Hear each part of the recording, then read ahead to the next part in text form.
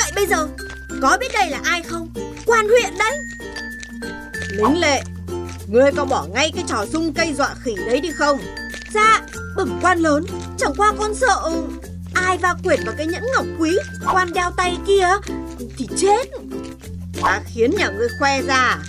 Ta đeo ngọc quý hay ngọc gì Kệ ta nghe chưa? Dạ vâng. Ui chào Mắt con bị trói quá. Sao thế Nay trời cũng không quá nắng, Mà sao ngươi lại trói mắt? Ngọc quan đeo trên tay á là mắt con bị lóa à? Cái thằng Chỉ được cái quen nịnh Thôi, ta đi. Dạ bẩm quan, Đò chạy mất rồi ạ. À. Người còn đây thì đò nào dám chạy? Nó chạy rồi thì nó phải về. Mình ghé quán nhà thằng bé Hồng Siêm uống nước. Tiện ta có cái trò này. Ý, quan lớn thật là anh minh và chí lý ạ. À. Lạy quan lớn ạ à, Mời quan lớn vào uống nước. Ờ, cho ta bát nước Nhưng phải thật sạch và tinh khiết. Không có nguồn đấy, nhớ chưa? Nước sạch và tinh khiết đấy. Vâng ạ, nhà con vẫn dùng nước mưa. Nước mưa là nước sạch, không nguồn, tinh khiết nhất đấy ạ. Ờ, biết nước ấy để ta làm gì không? Thì quan quen uống nước không có nguồn rồi ạ Nên mới đòi hỏi tinh khiết.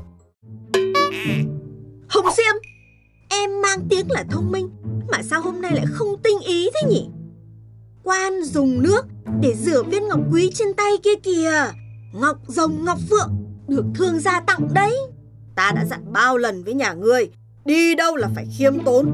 Tại sao ta chưa nói Mà ngươi cứ hay khoe ra thế hả Dạ bẩm quan Con biết lỗi rồi ạ Từ sau con không thế nữa Này Hồng Siêm Ta định ngày rằm tháng này tổ chức bình thơ, luận văn ở phủ ta. Nếu người có nhã hứng, hãy lên phủ cùng ta và các thầy đồ, nhà thơ, đàm đạo. Ai bình hay, luận giỏi, ta sẽ thưởng 50 đồng. Ta sẽ là người ra chủ đề. Dạ vâng, con cảm ơn quan lớn đã quý mến. Con xin lĩnh ý ạ. Phải thế chứ. Hồng Siêm, em phải thấy em quan trọng thế nào mới được quan lớn đây. Thân hành xuống tận nơi mời đấy. Dạ vâng ạ.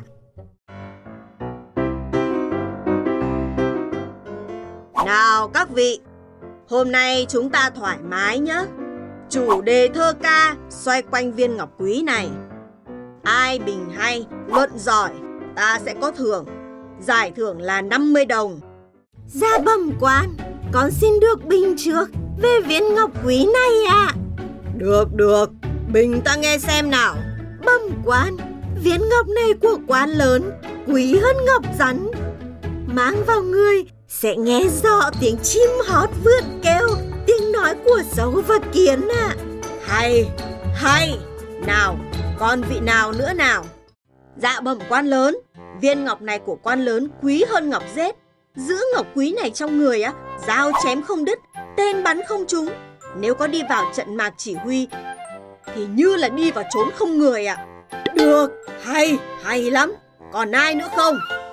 Dạ bẩm quan lớn, Ngọc của quan lớn quý hơn quạt ba tiêu. Ngọc này á, ba nghìn năm mới hình thành một lần. Đeo viên ngọc này có thể cưỡi mây, vượt gió, lên rừng, xuống biển. Dạ bẩm quan, ngọc này đeo vào á, có thể phân biệt được yêu ma, quỷ quái hay là thần tiên. Đâu là người tốt, đâu là người xấu ạ. À? Dạ bẩm quan, đeo ngọc này thì không lo bị cháy, bão lũ và sấm sét nữa. Thật là tuyệt, không ngờ ta có những người bạn thật tâm giao.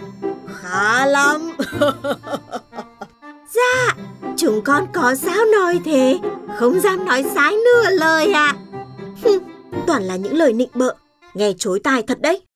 Còn Hồng Siêm, học trò bé nhỏ, nhà ngươi sao không nói gì?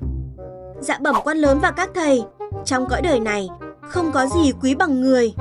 Ngọc rắn, ngọc rết có quý, nhưng sao sánh bằng ngọc người được ạ? Ngọc người á? Ở đâu? Dạ, ngọc người thì chỉ có nằm trong óc người. Nhưng mà chỉ có ngu ngốc mới có ngọc. Còn con thông minh, khôn ngoan thì không thể có được ạ.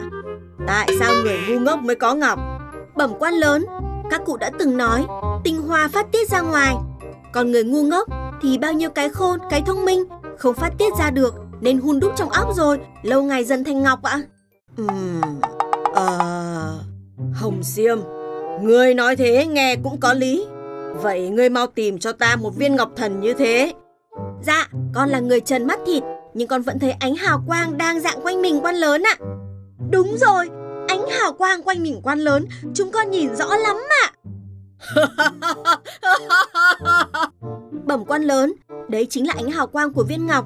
Nếu quan muốn thấy nó, xin quan hãy mời thần y tìm cách mổ đầu ra sẽ thấy ngọc quý ạ. Im lặng, giải tán, không bình thơ luận văn gì nữa.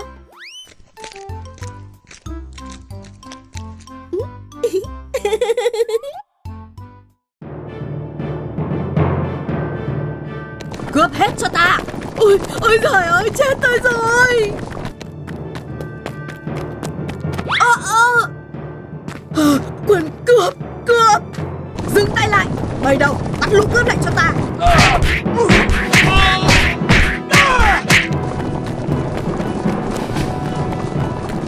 Hoan hô, hoan hô anh hùng, hoan hô.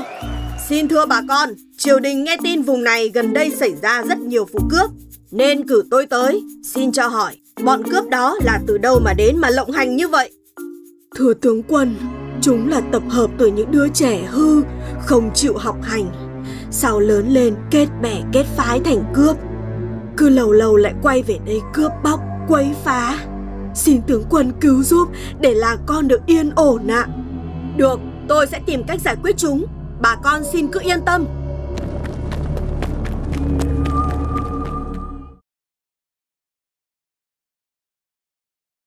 Cướp hết cho ta. Ôi, ôi trời ơi, chết tôi rồi. Dừng tay lại, bắt lũ cướp lại cho ta.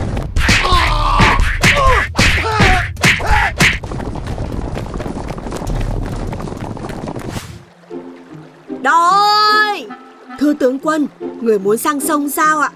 Bác cho tôi sang ngôi chùa phía xa kia Rồi bác chờ một lát Rồi lại đưa tôi về. Tôi trả cả công chờ cho bác. Không không, tôi không lấy tiền. Tướng quân đã giúp làng tôi được yên ổn. Tôi chở người sang sông Là phúc lớn của tôi rồi. Ấy ấy, bảo vệ dân làng là bổn phận của tôi. Bác đừng làm thế tôi thấy áy náy. Từ ngày tướng quân tới đây Lũ cướp không dám lộng hành nữa. Dân làng chúng tôi mừng lắm. Chừng nào chưa tóm được bọn chúng Thì tôi vẫn chưa ngủ yên được cứ đánh là chúng lại trốn vào rừng. Rằng co cả tháng trời Binh lính cũng khá mệt mỏi.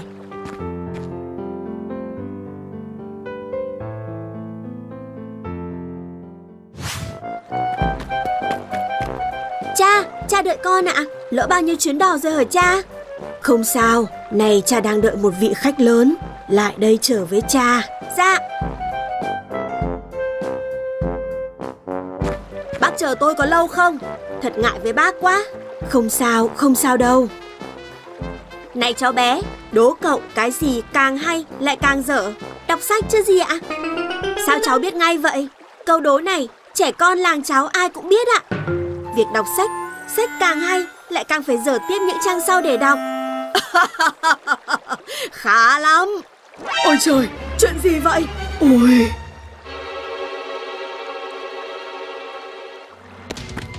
Có chuyện gì vậy? Dạ, bọn cướp giả dạng làm dân thường. Chúng nhân lúc tướng quân không có mặt Đã vào làng cướp bóc Thuộc hạ đến không kịp ạ. Đã tìm được sao huyệt của bọn chúng ở đâu chưa? Dạ, vẫn chưa tìm ra. Thuộc hạ đã nhiều lần cử binh lính đi thám thính. Mà người thì bị thương Người thì bị chúng bắt. Bọn chúng trốn trong rừng núi Địa thế hiểm trở Và đặt nhiều bẫy Rất khó vào sâu bên trong ạ. Ơi, thế này thì khốn khổ cho làng tôi rồi. Không thể cứ để như thế này được phải nghĩ cách trị bọn chúng tận gốc. Nhưng cách nào đây? Thưa tướng quân, Cháu có cách này không biết tướng quân thấy thế nào ạ? Cháu có cách gì? Mau nói ta nghe.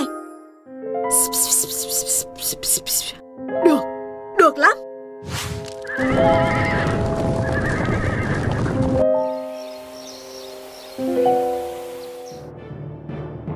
Tiếng ngựa hôm qua lớn như vậy. Vậy là cái tên tướng triều đình đó đã cuốn xéo rồi. Vậy thì còn sợ gì nữa? Chưa chắc Có khi hắn về xin thêm viện binh.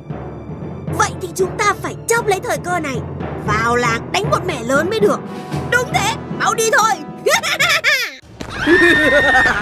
Chưa bao giờ đi cướp lại cảm thấy dễ dàng như lần này. Quân bảo vệ các ngươi đâu rồi? À, các ngươi đã bị bao vây. Hồn hồn thì mau đầu hàng đi. Ờ, ờ sao, sao lại thế này? Sao đại ca bảo quân lính rút hết rồi? Chúng ta bị lừa rồi. Đây là một cái bẫy. Đêm qua nghe tiếng ngựa Sáng nay nhìn thấy dấu chân ngựa. Các ngươi tưởng ta rút quân phải không? Còn non và xanh lắm lũ khốn. Được ta thua rồi. Nhưng hãy cho ta biết Tiếng ngựa và dấu chân ngựa ở đâu ra? Đơn giản ta chỉ điều một người lính Phi ngựa dẫn theo một đàn ngựa về kinh thành. Còn lại như người thấy đấy, Vẫn đầy đủ ở đây thôi.